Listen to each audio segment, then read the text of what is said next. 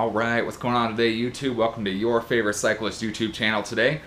Today, as you can see behind me here, I got a few different clothing options. Today I'm going to talk about one of the things I don't think is talked about enough for new cyclists getting into mountain biking, road biking, or just casual cycling. What should you wear? I know I had that question when I first started riding. So today I got a couple different options behind me of what I've worn throughout this like my cycling journey. I like to go over those options with you so you guys have an idea of what's out there. Alright, so first thing I want to say before I go into different clothing options. If you're just starting off, you've been riding a long time, don't think what I'm saying here is what you have to wear. What I'm saying is be comfortable while you ride. Not going to matter what you wear. You know, you'll see people in you know, spandex and baggy shorts and jerseys, you know, skin suits, all sorts of different things. All you need to be is comfortable. No one's going to judge you for what you're wearing at the most, they'll be like, oh, yeah, that's interesting. They're not going to judge you, they're not going to hate you for wearing whatever you're wearing. If you go to some of the bigger, bigger events, bigger century rides, you'll see people on like tutus, you know, riding their bike, um, or like old-fashioned gear. Um, it's not really going to matter what you wear. So, starting with that, if you're just getting into cycling, and you don't want to invest a lot into your gear, what you first thing you want to do is make sure you're comfortable and that your clothing is breathable. It's the easiest thing for you. If you got a pair of basketball shorts or something kind of breathable like this, for women you got the you know the leggings that have some breathability to them. Start off with a pair of these, and really any kind of shirt. This is a dry fit shirt from one of my previous races that I did. Um, something like this. Both of these are going to be very breathable.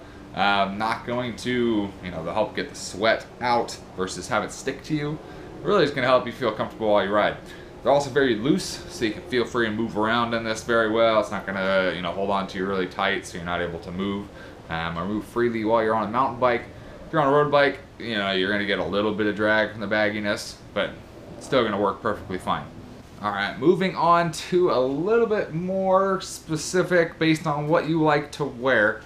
Uh, I'm going to start with first is going to be a set of padded shorts. Let me find where I put them. There we go. So this is going to be your basic set of padded shorts here. So inside here, take them off the hanger. So inside here, you obviously have a pad here. So that pad is obviously shaped for a man, blue. Generally blue blue is for men, pink is for women. Some brands mix it up. I think I have orange back there, but generally that's kind of be your cue for, for most brands. Um, so this is obviously padded short. This is a basic. These are a Pearl Izumi Attack shorts. Um, these are the ones I first started riding in once I kind of moved up from the basic basic shorts. They make shorts anywhere from about twenty dollars, I think, was my first pair that I bought, up to you know a couple hundred, just based on how much you want to spend. These ones I always buy. I would buy mine on sale. I'm cheap, so if you're cheap, look for them on sale. These are very nice, very good quality shorts, very comfortable. In my opinion, the best ones. I've ridden multiple century rides on these, and they have been super comfortable.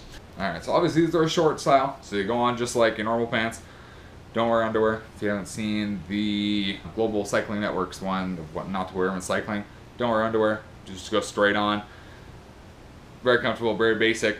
I recommend starting with these. These are going to be your cheapest option to get into kind of a cycling specific clothing or shorts. Recommend these. Think there's something a little bit different than that, but still, it's going to be a cycling short. You have something like this. I don't know if you guys can see it very well. This is going to be a bib short. It's obviously it's called a bib. Kind of goes on your shoulders. There's no elastic at the waistband here. But they have the same thing as these cycling shorts.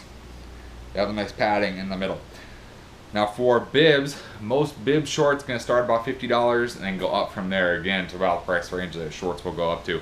Um, I personally like the bib shorts the best just because it releases the pressure from around your waist and instead puts it up to kind of on your shoulders.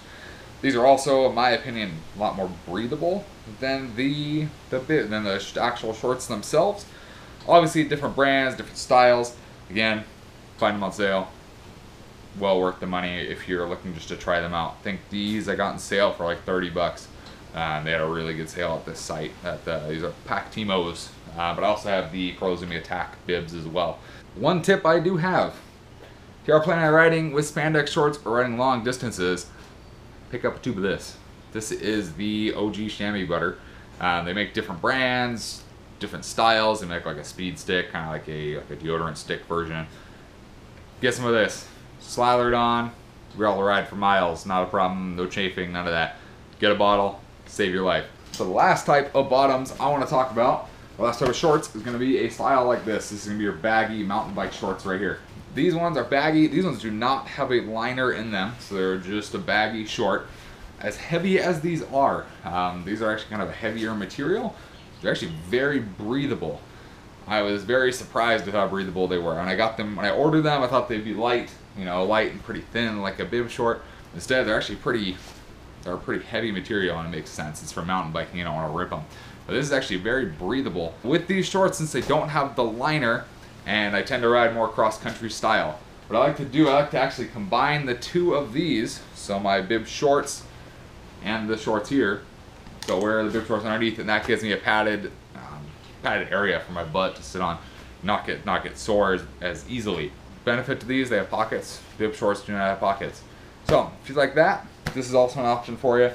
These ones, I think I paid $30. These were used. The new one's gonna start right about 50 and then go up from there. All right, so moving on to shirts or your tops.